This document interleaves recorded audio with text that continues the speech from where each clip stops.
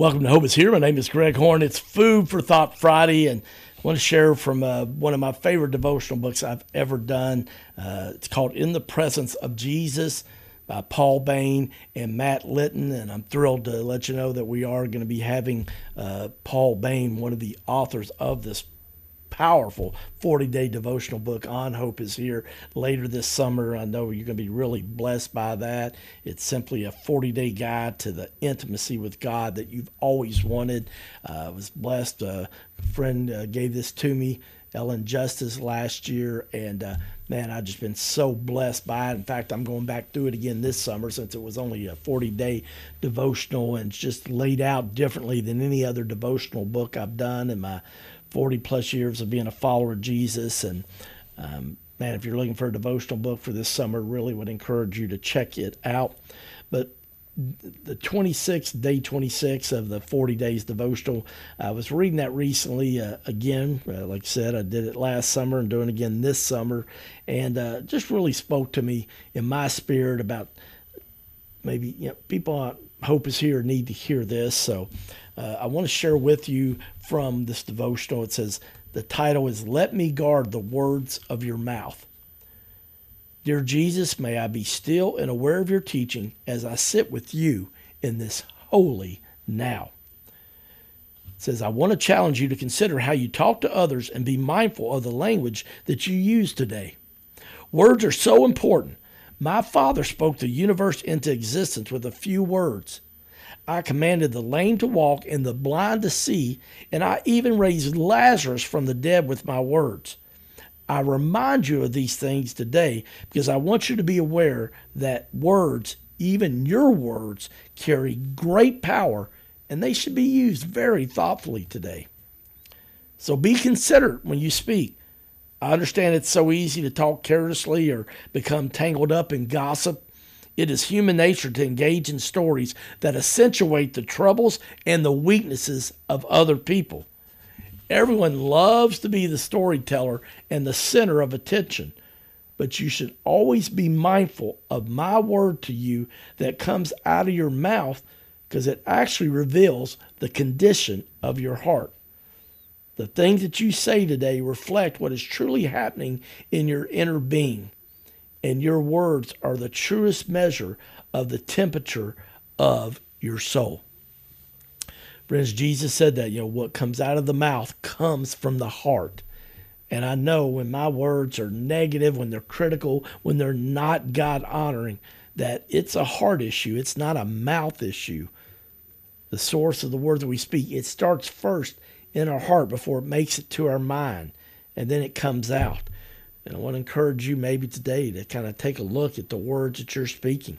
It goes on to say in this powerful devotional talking about others is often a way to avoid being honest about yourself. Ouch. Let's say that again. Talking about others is often a way to avoid being honest about yourself.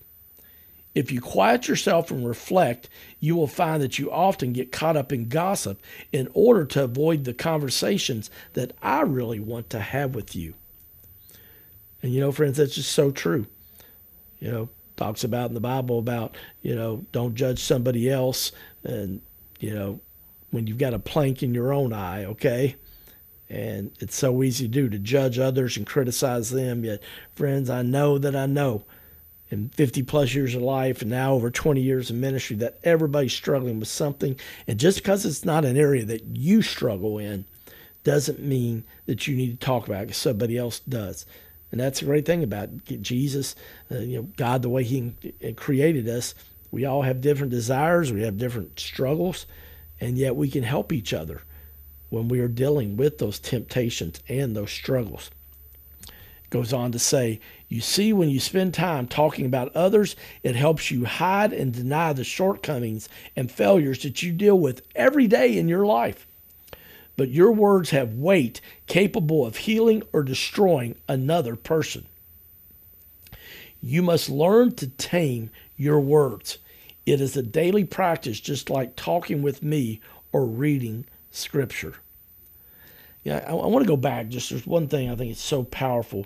Uh, uh, it said, you know, but your words have weight capable of healing or destroying another person. You know, friends, I, you know, destroying it goes without saying, okay? And man, we've got to be so careful. And uh, it's talked about this earlier, but I also want to encourage you that your words can be healing. Sometimes just hearing the words, I love you, or man, I care about you, or sometimes I know that when somebody's hurting, we don't reach out to them because we're like, I don't know what to say. And I want to remind you and encourage you something I learned from one of my heroes of the faith, Wayne Smith, the founding pastor of Southland Christian Church, who has been gone to be with the Lord now for uh, a little over eight years. But I'll never forget this that, you know, he told me one time, he said, you know, sometimes when you do, you don't have to have the answer to somebody. You approach them or you reach out to them when, you know, they're in a really hurting season of life. Just listen, number one. Just ask them the question, how are you doing? If they say fine, say, well, no, how are you really doing? And just share with me what's going on. And so just listen. Just listen. And then afterwards, I mean, God gives you something after they've shared. You've listened. It might be 30 seconds, it might be 15 minutes. But if God gives you something, that's great. But if not, all you have to simply say is just say, you know, I want you to hurt. I want you to know because you hurt that I hurt. Such a powerful statement. Simple but powerful. I want you to know because you hurt that I hurt. And man, doesn't it make you feel so much better when you know somebody's, you feel like somebody's with you in the pain, with you in the suffering, with you in the disappointment, with you in the hurt. Oh, friends, it's just so powerful when somebody just says, Hey, man, I want you to know because you hurt, I'm hurting today.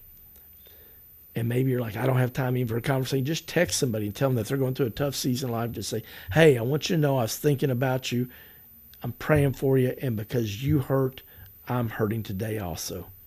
Friends, that is life giving. And I know there may be somebody, as you heard me share that right now, you're thinking, I know somebody I need to reach out to. And I want to encourage you to do that, friends, right now. It goes on to say in this powerful devotional book, In the Presence of Jesus, and we're looking at day 26, let me guard the words of your mouth. It goes on to say, you must learn to tame your words. It is a daily practice, just like talking with me or reading scripture. Simply be careful not to mention something about someone that you would be comfortable saying to that person face to face. Ouch. Wow, what a great rule of thumb there.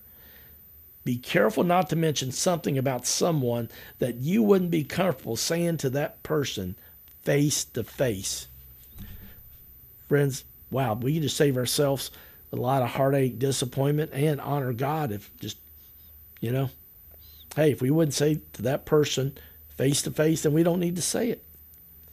That would really help heal a lot of wounds and families and friends and relationships. And I've had to learn that the hard way myself, friends. And I'm sure many of you listening or watching today, nodding your head too, saying, yep, been there, done that. So, good rule of thumb today. You know what? If it's not something you would feel comfortable saying to that person if they were sitting right there in that conversation or on the phone or in a text next to you or they would receive that or see that, then don't say it. Or as the old saying goes, when we were kids, you know, my mom used to say, you know, if you can't say anything nice, don't say anything at all. And, you know, I'm here to tell you over 50 years later, that is still true. you can't say something nice, don't say anything at all. Another great word here. It says, Stop yourself in your attempt to tell your side of the story, even when other people have attacked your character. Remember to let me be your defense attorney. Oh, friends, that's one of the advantages of having Jesus as your Lord, but also, you know, your Savior. He's your defender. He's your defender. He's your protector. Don't, to- don't tolerate gossip about someone who's not present in the conversation. You may hurt the character of another person simply by giving silent assent to the damning words spoken about them. If you cannot provide a good report about someone, move on to another subject altogether. You know, friends, and that's so easy to do. So many times I've had to learn that. Um, you know, uh, just everybody likes to talk about themselves. Somebody starts to bring a topic and go down a road that's being negative and critical and gossip. Just simply say, you know, how about those cats? You know, can you believe the baseball team went to the World Series? Or how do you think the football team's going to do this year? Or what do you think about Mark Pope? You know, I mean, you can just change it to a general sports question.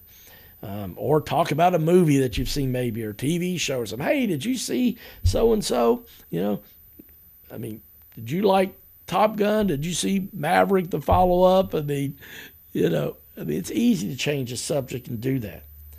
But, friends, here's the deal gossip is as dangerous as it is easy.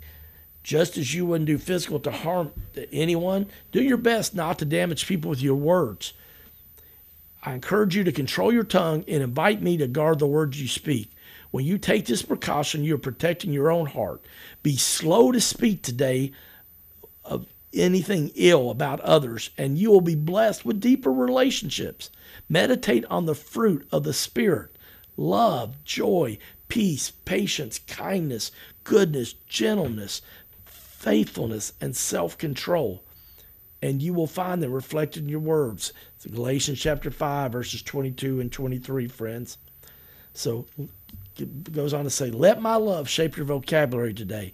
If you meditate on my peace, love, and joy in your heart, then that is the dialect that will emerge in your conversations.